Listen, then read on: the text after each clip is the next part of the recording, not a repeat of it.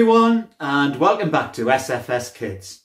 I'm Richard and it's brilliant, wonderful to have you with us today.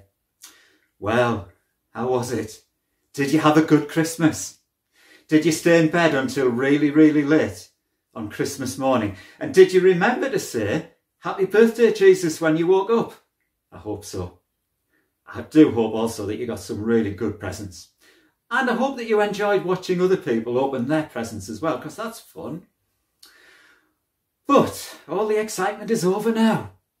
Don't worry though, we've got loads of fun lined up for you in SFS Kids. We've got Nat and the gang as usual, and they've got the last episode of their nativity uh, coming up today.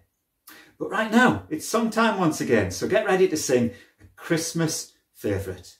A favourite of mine anyway. It was on a starry night.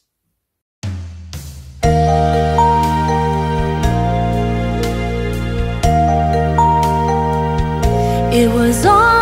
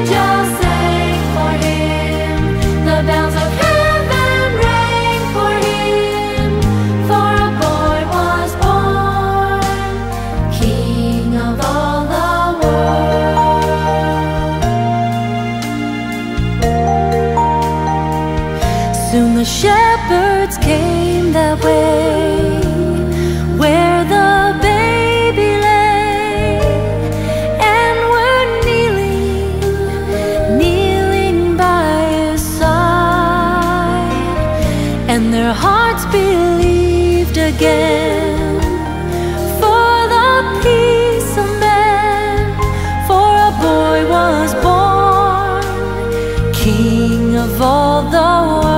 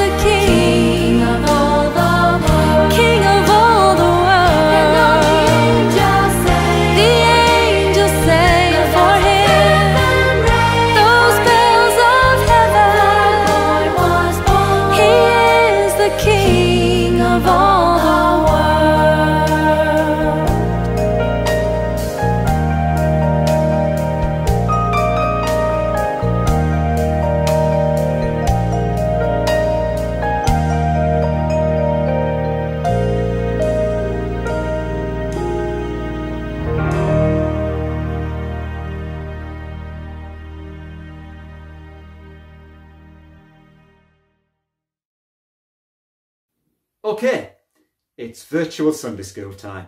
Today's the final part of the Nativity story. Today we've got the visit of the wise men who came a little later than the shepherds, and we've got a rather sneaky King Herod.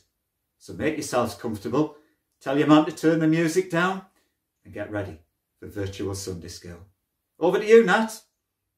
Today, we're going to look at the final part of the Nativity story. So, we'll look at a Bible story, a craft, prayer, and then finish with a final thought. So, grab your drink and a festive biscuit, and let's do this. When you're stuck at home with time to spare, Can't go outside, you're not going anywhere. Why don't you pull up a chair or pull up a stool? Tune into virtual Sunday school. With a craft to do and a story or two. Say hello to Nat, she's stuck at home too. Why not tune in to virtual Sunday school? The story of the Nativity can be found in the Gospels of Matthew and Luke, right at the start. So, Mary and Joseph are in a stable, and some angels have visited some shepherds to tell them to go and visit the baby Jesus. And here is where we will pick up the story again. And we're telling it in rhyme with some help from our friends. So it was in a stable Mary birthed God's Son, the King of Kings, our Saviour, God's salvation plan begun. Far in the east, some scholars saw a new bright shining star. These wise men set out to find a king, a journey very far.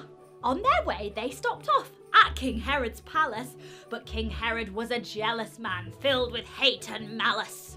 Herod was in charge. Who was this newborn king? When you find him, let me know so I can worship him. When they finally found Jesus, they brought gold, frankincense, and myrrh. Three fancy gifts lay on the stable floor between the hay and fur. The wise and the learned put aside all rankings, bowing down before a babe who was the King of Kings. A humble babe in a manger laid, adored by rich and poor, the simple and the complex. One day, the kind of people he'd die for. But for now, let's remember that little child, the child on the hay, the start of Jesus' gospel good news that we celebrate on Christmas Day. Oh, and don't worry about Herod, he's no cause for concern. Gabriel popped up to tell the wise men to avoid him on their return.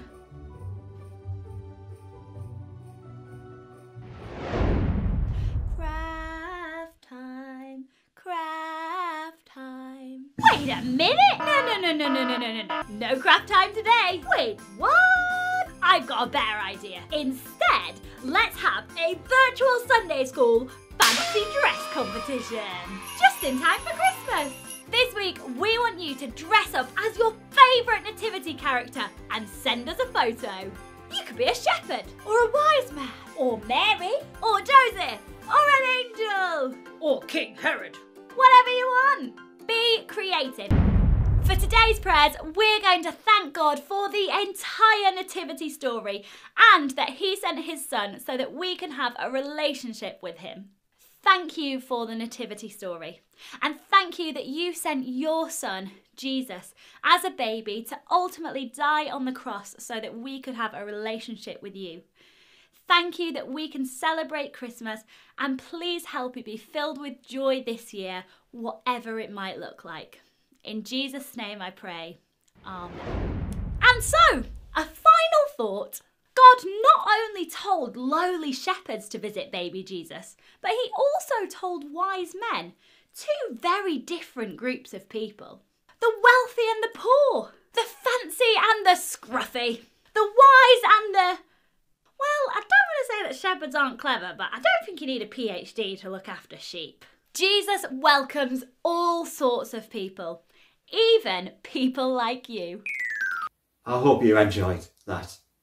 That's the end of the Nativity story for this year, and it will soon be the end of Christmas, and then we're into New Year. But remember, God's gift of Jesus is for all of us, for all the year round, not just for Christmas. So let's sing our special Christmas song for one last time. A few weeks ago, I didn't even know this song, but I'm really loving it now, and I hope that you do too. It's called All the Angels Sing.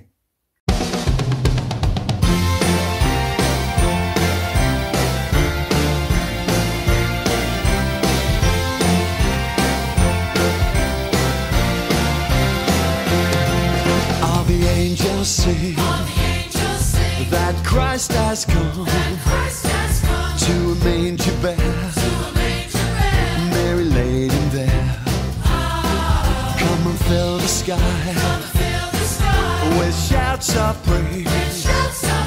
Lift your voice with me and sing, sing, sing, sing, sing.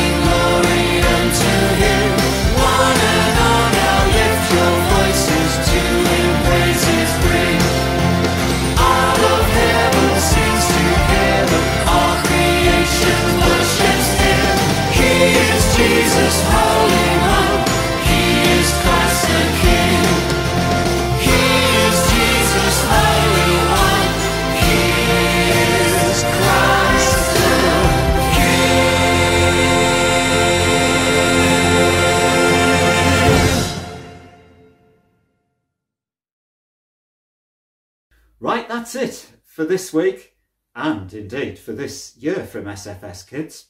Don't forget to check out Virtual Sunday School on YouTube and make sure you subscribe for SFS Kids videos too. So for the very last time, are you ready to say the grace together? So come on, on your feet because this has actions and we must do it together. Are you ready? The grace of our Lord Jesus Christ, the love of God, and the fellowship of the Holy Spirit be with us all evermore. Amen. Wonderful. So the next SFS Kids will be next year, next week. We'll see you then. Happy New Year. God bless. Bye.